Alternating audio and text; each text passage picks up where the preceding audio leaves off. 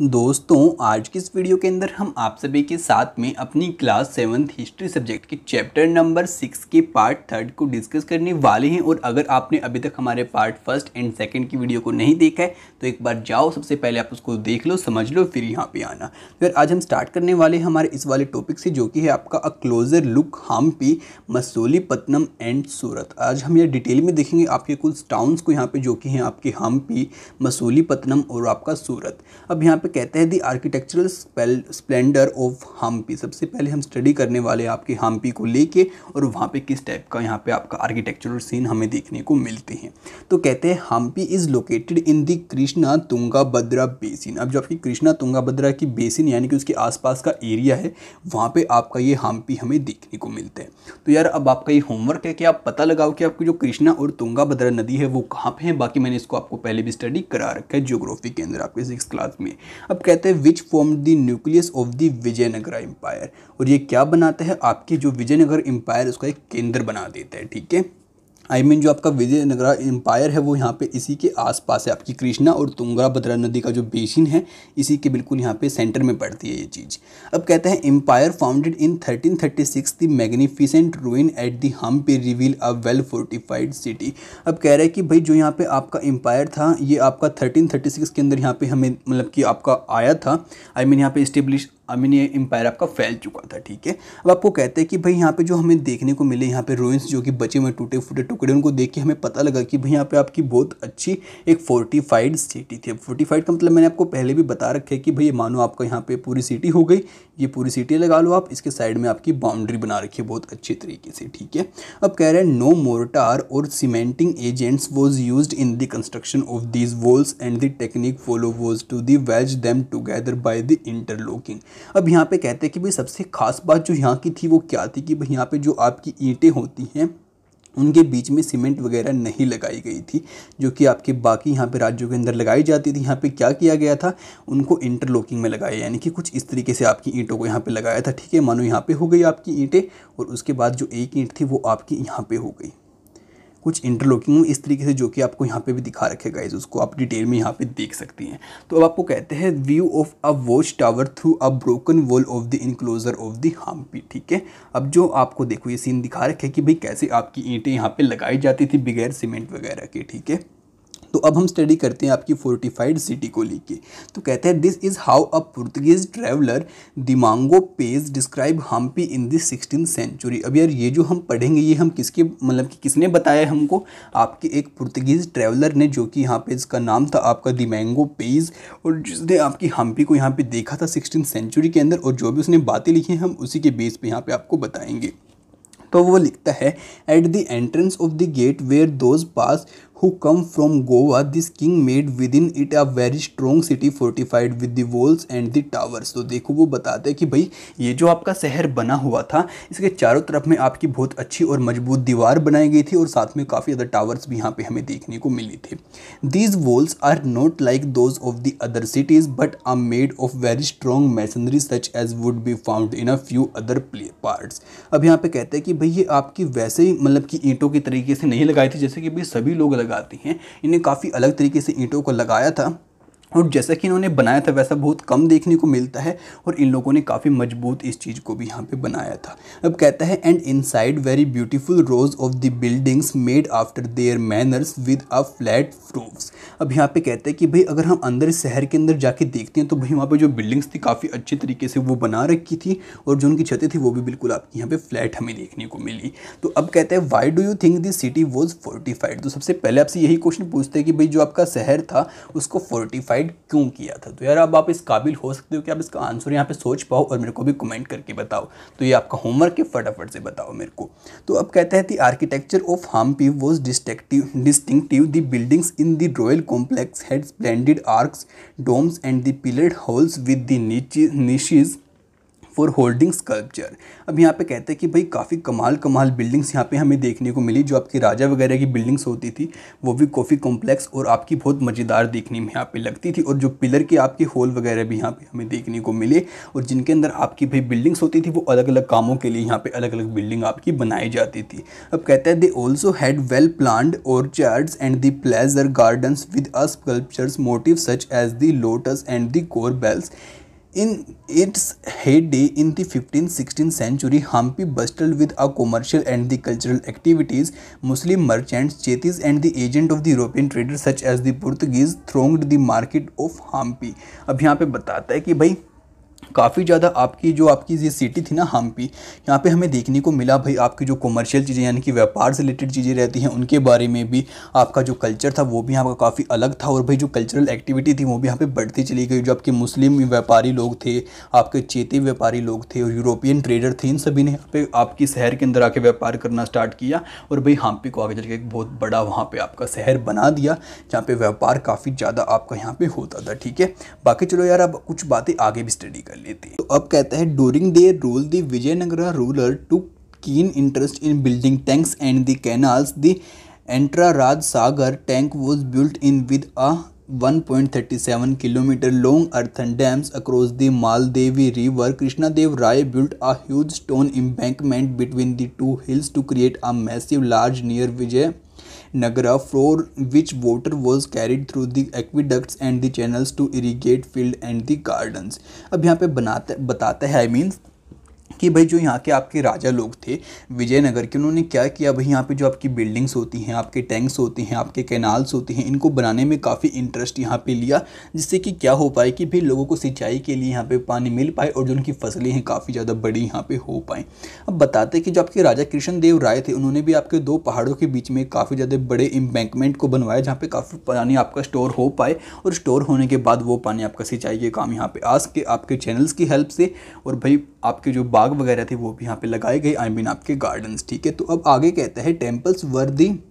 hub of cultural activities and the devadasis temple dancers performed before the deity royalty and masses the many pillars hall in the Virupaksha अब यहाँ पे आप सभी को बताता है कि भाई जो आपके यहाँ पे ज़्यादातर कल्चरल एक्टिविटी थी, वो हमें आपके मंदिर के अंदर यहाँ पे देखने को मिली और जो आपकी देवदासियाँ होती थी आई मीन जो आपके टेंपल के अंदर आपको पता है ना, लड़कियाँ नाचती थी भाई आपके पुराने टाइम के अंदर, वो सभी लोग जो होती थी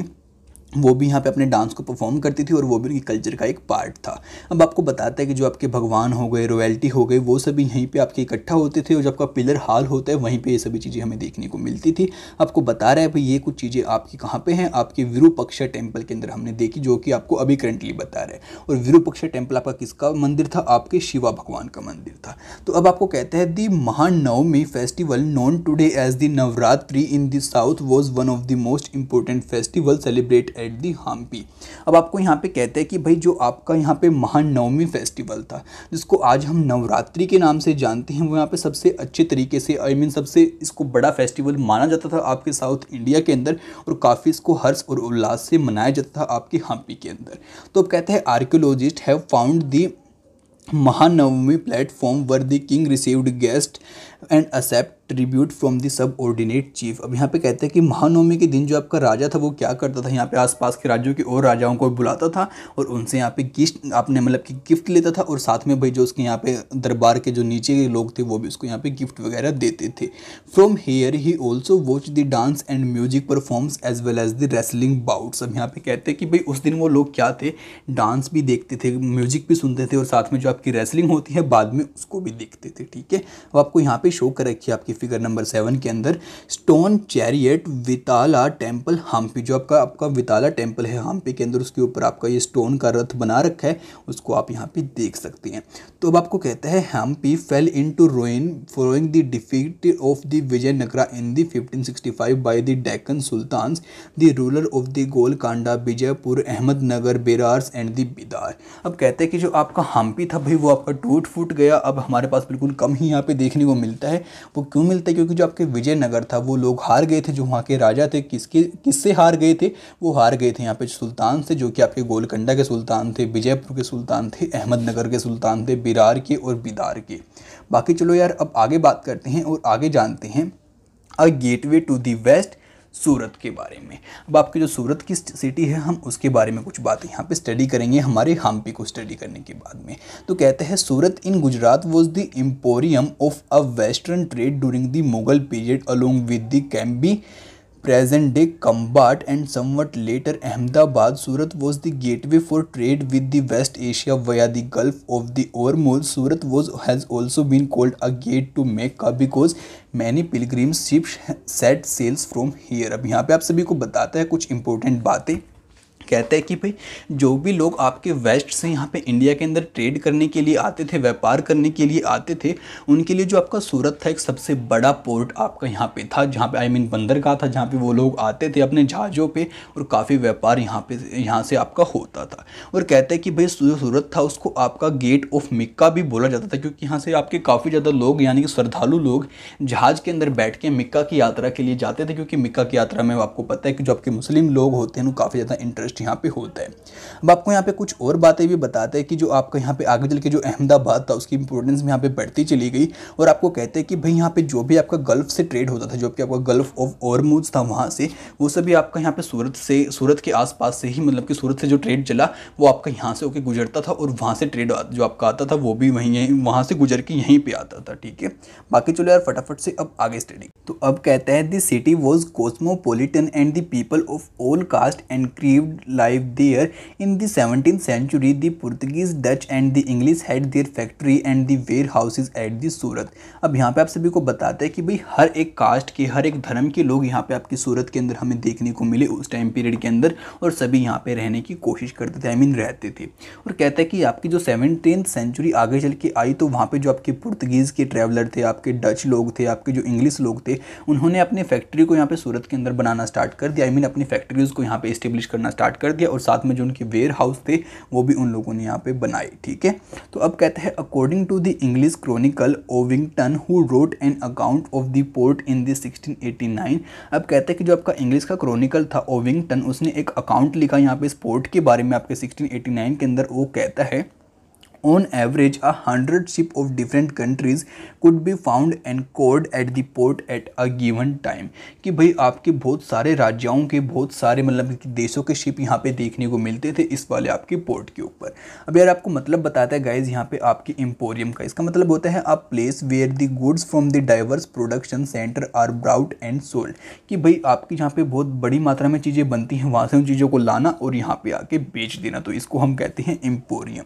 तो अब आप आपको आगे कहते हैं there were also several retail and the wholesale shop selling cotton textile the textile of Surat were famous for their the gold laces border zari and had a market in the West Asia Africa and Europe अब यहाँ पे कहते हैं कि भाई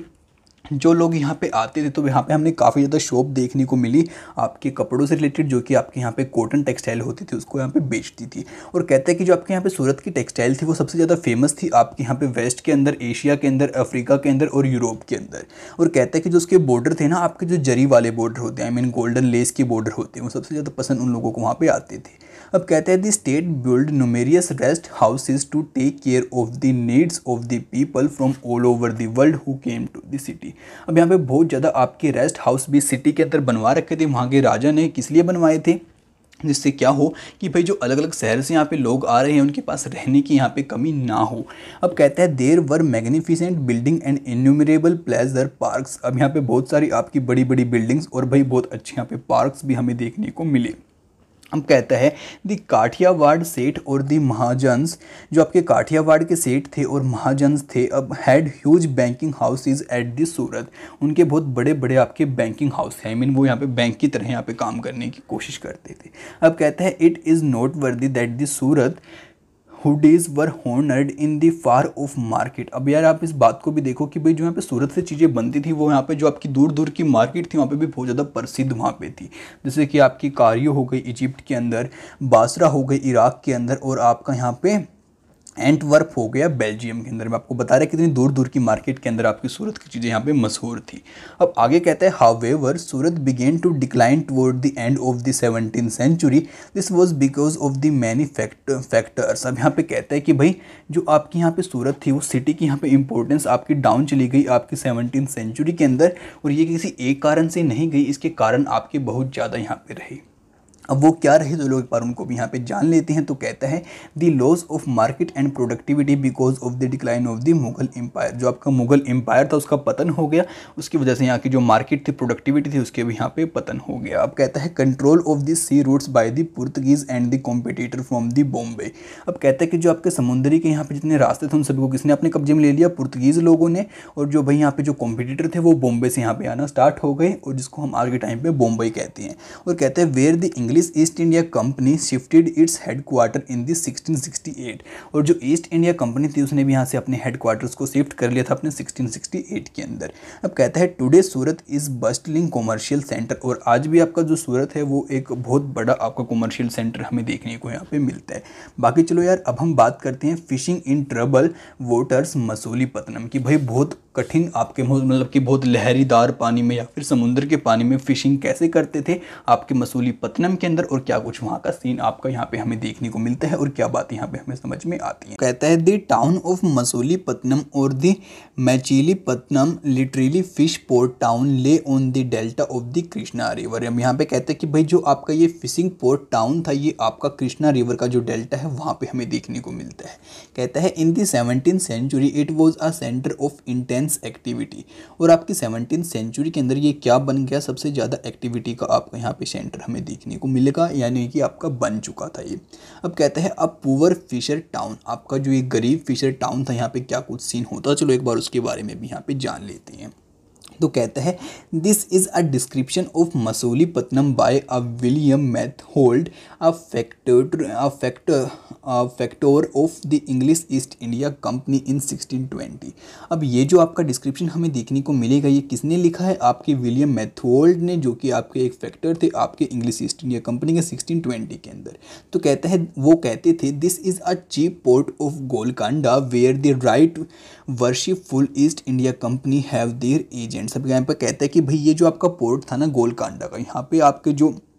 East India Company थी, उसके कुछ एजेंट्स यहाँ पे रहते थे। It is a small town but populous turn wall ill built and the war situated हम यहाँ पे कहते हैं कि भाई ये जो आपका शहर था वैसे तो काफ़ी कम यहाँ पे छो आई I मीन mean, छोटा सा शहर था ज़्यादा बड़ा शहर आपका नहीं था। यहाँ पे आपकी जो पॉपुलेशन थी वो भी थोड़ी कम थी और यहाँ पे कोई आपकी जो दीवार वगैरह थी वो भी नहीं बनाई गई थी और आपका ये थोड़ा मतलब कि गलत तरीके से ही बना रखा था। आई I मीन mean, कोई यहाँ पे प्लानिंग वाली सिटी आपकी ये नहीं थी। और कहते हैं जो यहाँ पे सिचुएटेड मतलब कि जो कुछ भी यहाँ पे दीवारें वगैरह बनाई गई थी वो सभी भी यहाँ पे ऐसे मतलब कि कुछ अजीब गरीब थी। Within all the spring अब ब्लैक अब barks it was a first a poor fisher town और यहाँ पे कहते हैं कि भाई सबसे पहले आपका क्या था? ये आपका एक पुअर फिशर टाउन यहाँ पे माना जाता था। After what the convention of the road अब यहाँ पे कहते हैं, जैसे यहाँ पे रोड आपका बन गया a place where the ships can anchor और जहाँ पे आपके समुद्री जहाज़ आके रुकते थे। Made it a residence for merchants and so continue since our and the Dutch nations frequent this coast अब यहाँ पे बताता है कि भाई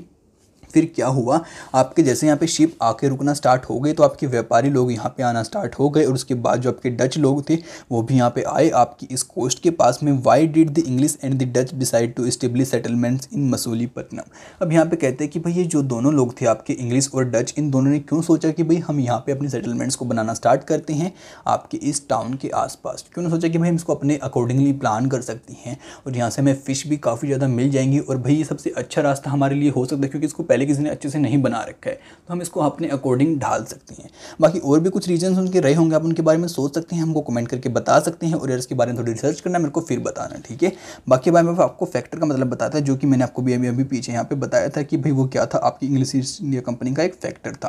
तो इसका मतलब होता है official in charge of trading activity of the European trading company कि भाई आपका एक ऑफिशियल इंचार्ज होना ट्रेडिंग एक्टिविटीज़ को लेके, ठीक है?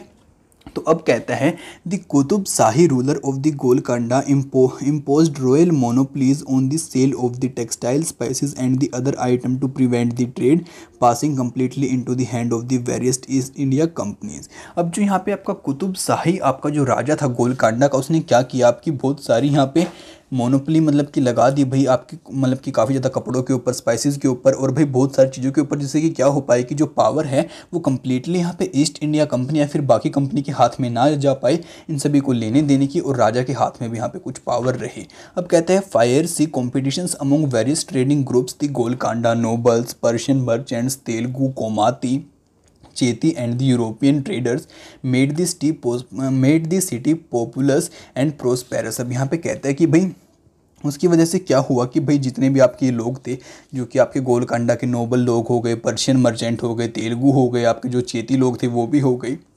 इन सभी के बीच में क्या हुआ? कंपटीशन हो गया कि भाई यहाँ पे हम मसाले खरीदेंगे, हम मसाले खरीदेंगे। ये काफ़ी ज़्यादा दाम थे, वो भी अपने बढ़ाते चले गए। उस वजह से क्या हुआ? ये जो आपका शहर था धीरे धीरे बहुत बड़ा होता चला गया और यहाँ पे काफ़ी ज़्यादा आपकी प्रोस्पेरिटी आ गई। As the Mughals begins to extend their power to the Golconda their representative the governor Mir Jumla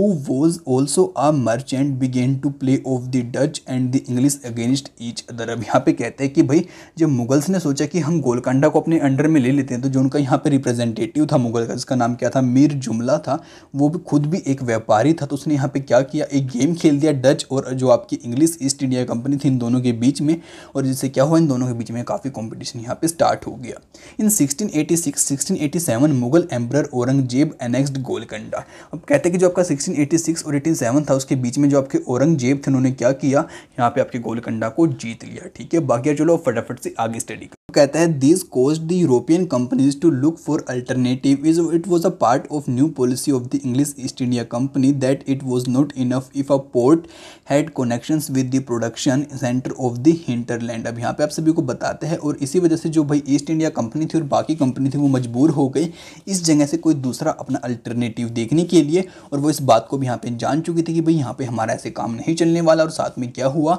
कि भाई उनकी उनकी जो यहाँ पे नई पॉलिसी आगे चल के आई तो उस पॉलिसी में भी इस बात को यहाँ पे मद्देनज़र रखा गया, ठीक है? अब कहते हैं the new company trade centres it was felt should combine political administrative and the commercial roles अब यहाँ पे कहते हैं कि भाई अब जो नए सेंटर आपकी यहाँ पे कंपनी की आए, वहाँ पे पॉलिटिकल एडमिनिस्ट्रेटिव और कॉमर्शियल रोल्स इन सभी को भी आपकी कंपनी ने ध्यान में रखा। अब कहते हैं as the company traders move to Bombay Kolkata and Madras Masulipatnam lost both in merchant and prosperity and declined in the course of the eighteen century अब यहाँ पे आप सभी को बताते हैं कि भाई जितने आपके व्यापारी लोग थे, कुछ कोलकाता में चले गए, आपके कुछ यहाँ पे बॉम्बई में चले गए, कुछ कुछ यहाँ पे आपके मद्रास में चले गए तो उस वजह से जो आपका मसूलीपट्टनम यहाँ पे प्रोस्पेरस हो गया था, अब वो क्या हुआ? धीरे धीरे आपका यहाँ पे डिक्लाइन होना स्टार्ट हो गया, जो उसकी प्रोस्पेरिटी थी वो कम होनी स्टार्ट हो गई, ठीक है? अब कहता है, आपको being today nothing more than a dilapidated little town और आज के टाइम पर आपका ये एक छोटे से टाउन से के अलावा आई I मीन mean, कुछ भी नहीं है। तो यार बाकी चलो अब आगे स्टडी करते हैं हमारे नए टाउन्स को लेके और जो हमारे व्यापारी लोग थे उनके बारे में। तो कहते हैं in the sixteen and the seventeen century European countries were searching for spices and textile कि जो आपकी सिक्सटीन और सेवनटीन सेंचुरी थी उस टाइम पर जो आपकी यूरोपियन कंपनी थी बहुत सारे यहाँ पे ऐसी जगह की खोज कर रही थी जहाँ पर उनको मसाले भी मिल जाएँ और कपड़े भी काफ़ी कमाल मिले। Which had became the popular both in the Europe and the west Asia क्योंकि इन दोनों की काफ़ी डिमांड थी आपकी यूरोप और वेस्ट एशिया के अंदर the English Dutch and the French formed the east India companies in order to expand their commercial activity in the east अब यहाँ पे कहते हैं कि जो आपके इंग्लिश लोग थे डच लोग थे फ्रेंच लोग थे, इन सभी ने आपकी ईस्ट इंडिया कंपनीज़ को बनाया। किस लिए बनाया? कि भाई जो हमारा व्यापार है, हम उसको यहाँ पे ईस्ट की साइड में क्या करेंगे? बढ़ाएँगे। Initially great Indian trader like the Mulla Abdullah Ghafur and the Virji Vora who owned a large number of ships completed competed with them अब यहाँ पे कहते हैं कि भाई स्टार्टिंग में क्या हुआ? जो हमारे इंडिया के बड़े बड़े व्यापारी लोग थे, जैसे कि आपका मुल्ला अब्दुल गाफूर हो गया, विजरी वोरा हो गया, इन सभी इनके साथ में कम्पीट किया, क्योंकि इनके साथ में, इनके पास काफ़ी बड़े बड़े समुद्री जहाज़ थे और काफ़ी ज़्यादा जहाज़ थे। वे the European companies use their naval power to gain control of the sea trade and force Indian trader to work as their agent अब यहाँ पे क्या किया, जो हमारी कंपनीज़ आई, उनके पास बड़ी बड़ी नेवी थी तो उसकी हेल्प से उन लोगों ने क्या किया कि इन लोगों को यहाँ पे दबा दिया और बाद में इनको अपना एजेंट बना लिया यहाँ पे व्यापार करने के लिए, ठीक है? Ultimately, the English emerged as a most successful commercial and a political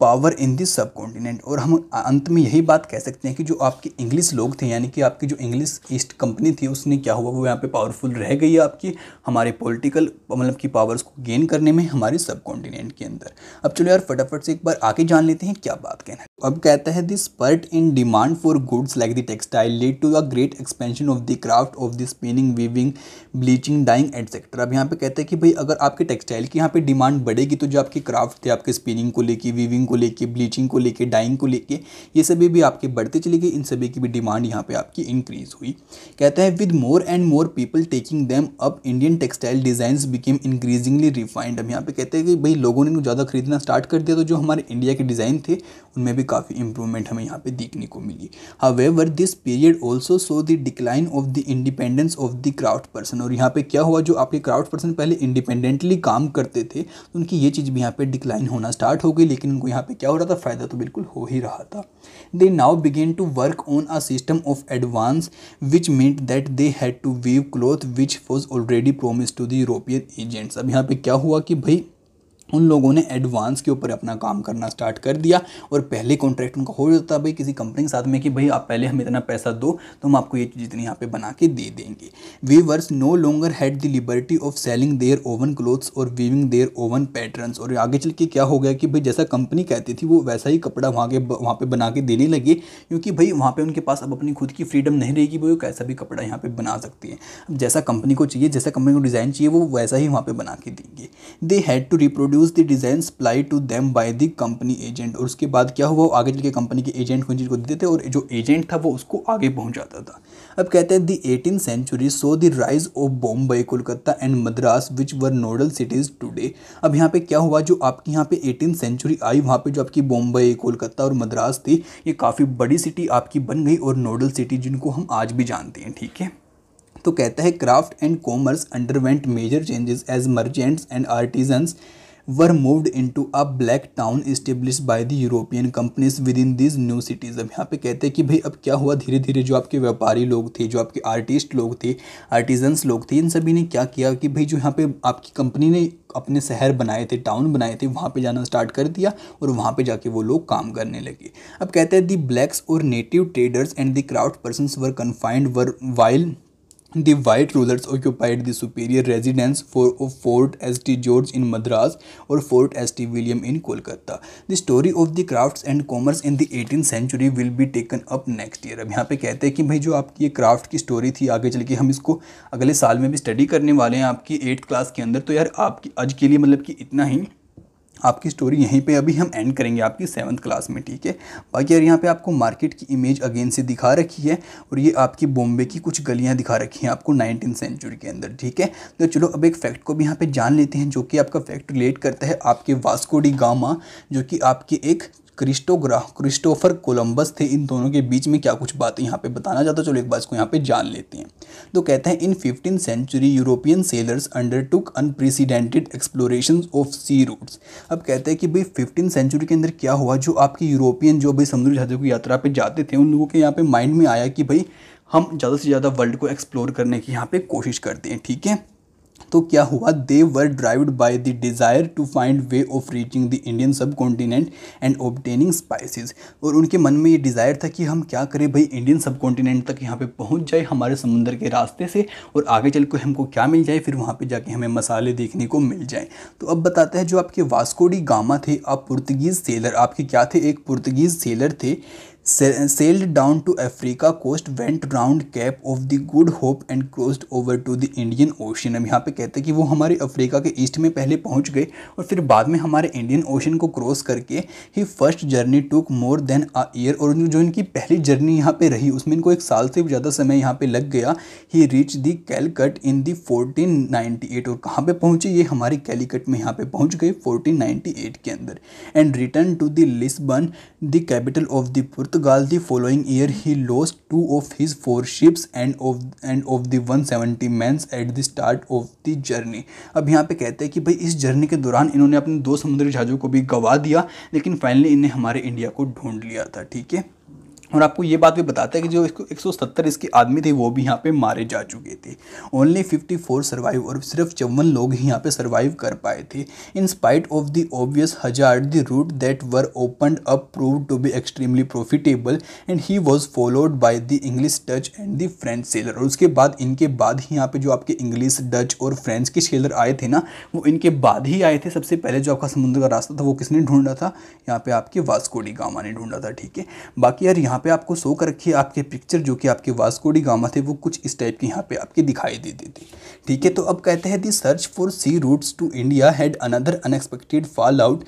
on the auspicious that the early was route Christopher Columbus, an Italian, decided to sail uh, westward across the Atlantic Ocean to find a route to the India. अब जो आपके Columbus थे उन्होंने ठाना कि भाई जो Atlantic आपका समुद्र है मैं उससे होते हुए यहाँ पे जाने की कोशिश करूँगा इंडिया के अंदर और वहाँ से कोई रास्ता यहाँ पे ढूंढूँगा। He landed in the west Indies which got their name because of his confusion और ये कहाँ पे पहुँच गए? फिर आपके वेस्ट इंडीज़ के पास पहुँच गए और ये इनको जो हमारी वेस्ट इंडीज़ है उसको ये नेम पता है क्यों मिला है? क्योंकि वो जो हमारे कोलंबस थे, वो निकले तो हमारे इंडिया की खोज में थे, लेकिन कहाँ पे पहुँच जाते हैं? आपकी वेस्ट इंडीज़ के अंदर पहुँच जाते हैं 1492 के अंदर। और कहते हैं he was followed sailors and conquerors from Spain and the Portugal who occupied large part of the central and the south America often destroying the earlier settlements in the area अब यहाँ पे कहता है, इसके बाद इसका जो रास्ता था, भाई, बहुत सारे राजाओं ने भी आगे चल के फॉलो किया और वो भी वेस्ट इंडीज़ बाद में गए, ठीक है? तो यार दोस्तों, आज के चैप्टर को हम यहीं पर अपना कंप्लीट कर देते हैं और हमारा चैप्टर यहाँ पे कंप्लीट भी हो जाता है, ठीक है? बाकी अगर आपको इसको पढ़ के बहुत मज़ा यहाँ पे आया होगा। और यार दोस्तों, अगर आपको ये वीडियो अच्छी लगी तो उसको लाइक करना बिल्कुल भी मत भूलना और अपने फ्रेंड्स के साथ में शेयर पक्का कर देना। जैसे अगर वो भी घर बैठे बैठे स्टडी कर पाएँ तो आपसे मिलते हैं अगली वीडियो में बहुत जल्दी। तब तक के लिए दोस्तों बाय बाय